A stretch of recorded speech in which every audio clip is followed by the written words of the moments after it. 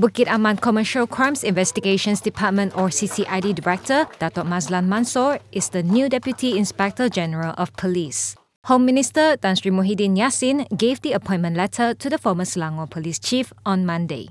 The appointment took effect on May 9th. He replaces Tan Sri Noor Rashid Ibrahim, who retired on March 17th.